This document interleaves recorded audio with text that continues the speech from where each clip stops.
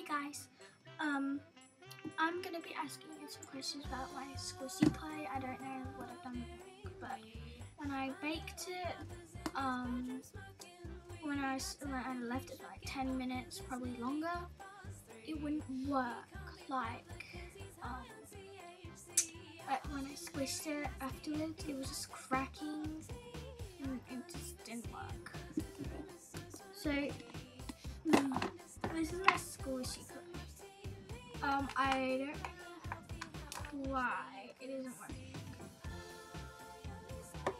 So this is it. It wasn't as sticky when I started it, but I don't know. This is what it's supposed to look like. It's gonna be like like this. I have no idea, but it's really sticky now, and it didn't have the golden brown on it. See, it's like super sticky. It wasn't like that before and it just hasn't worked.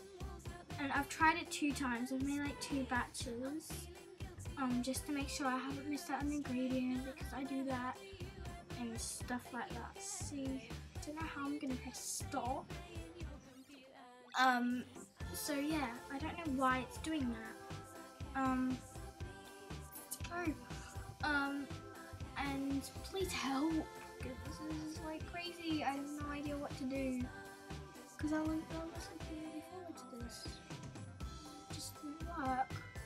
Um, so, sticky, what do I do? Um, I use all the right ingredients like salt, vegetable oil, water and flour, saddle, and stuff like that, but I don't know. Let's just put this on stop.